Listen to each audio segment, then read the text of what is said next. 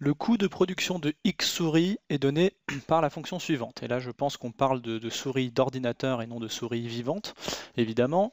Donc, on a cette expression pour le coût total euh, en fonction du nombre X de souris qu'on produit.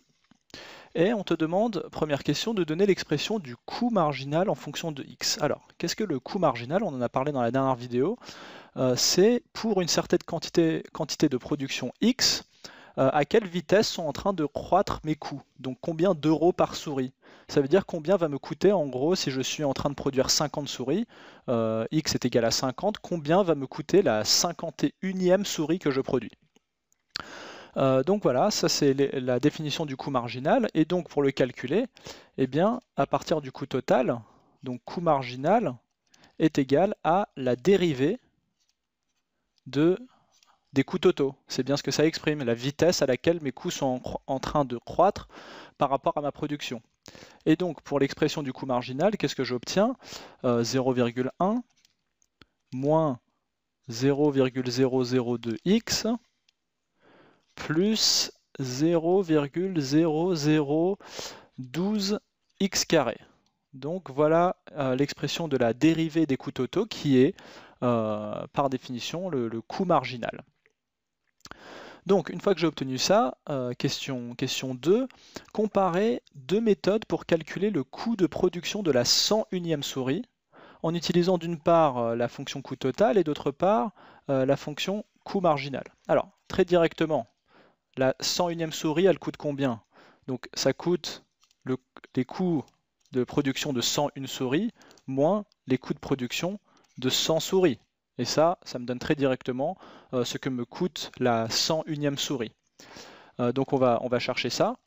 Et d'autre part, en utilisant la fonction coût marginal, eh bien, il s'agit, euh, donc la fonction coût marginal qui est la fonction C', il s'agit de C' de 100. Ça veut dire qu'une fois que j'ai produit 100 souris, à quelle vitesse sont en train de croître mes coûts par souris produite Eh bien ça, ça devrait, C' de 100, du coup, devrait me donner le coût de production de la prochaine souris.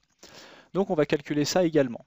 Et là, donc, on a pas mal de, euh, calculs à faire euh, que je, ne vais pas faire à la main parce que je n'ai pas envie de t'ennuyer avec ça. Je vais le faire directement à la calculatrice et te montrer ce que ça donne. Donc voilà ma calculatrice dans laquelle j'ai déjà pré-rentré les deux fonctions. Euh, dans Y1, j'ai rentré la fonction coût total, 3200 plus, etc. Tu peux vérifier. Ensuite, Y2, j'ai rentré la fonction coût marginal que je viens d'écrire en jaune juste avant.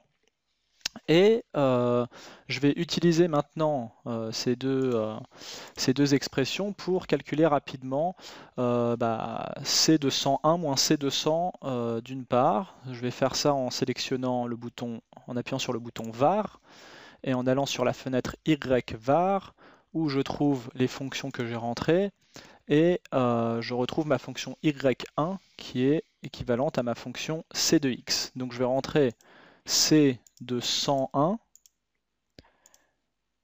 et je trouve 3612, quelque chose.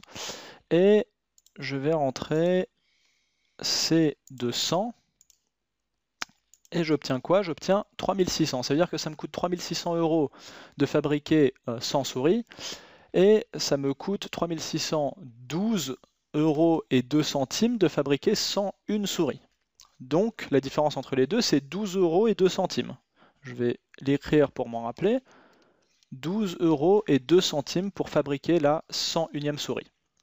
Très bien. Donc maintenant, euh, calculons euh, C' de 100, qui était notre euh, deuxième méthode. Donc je vais sélectionner la fonction y2 cette fois, où j'ai rentré, la, où, rentré la, fonction dérivée des coûts, donc C'. Et je cherche C' de 100, et ça me donne quoi? Ça me donne 11,90€. Donc là, je suis rassuré parce que 11,90€, c'est très proche de 12,02€.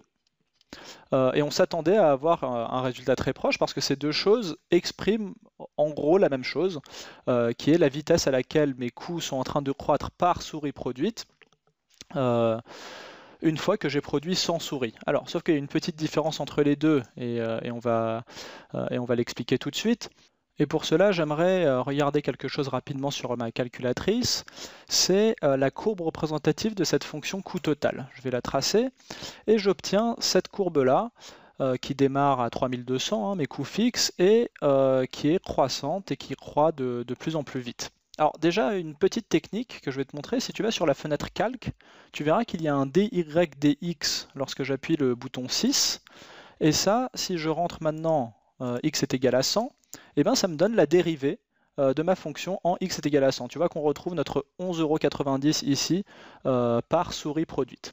Ok, une fois que j'ai dit ça, moi ce qui m'intéressait surtout, c'est la forme de la courbe. Et je vais faire un petit zoom sur ce qui se passe ici. Et je vais te montrer ça donc sur, sur cet écran-là. Donc à quoi ressemble notre fonction autour de x est égal à 100 Imaginons qu'on soit à 99 ici et à 101 ici. Et on a une courbe représentative de C qui ressemble, qui ressemble à ça. Hein, j'exagère un peu le trait. Euh, en tout cas, la dérivée est, croissante. Et là, on a calculé deux résultats.